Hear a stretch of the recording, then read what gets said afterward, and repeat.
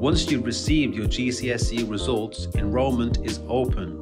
If you didn't get the results you expected, still pop in and have a chat with us. Come to the college and see us or attend your appointment if you've already received an offer.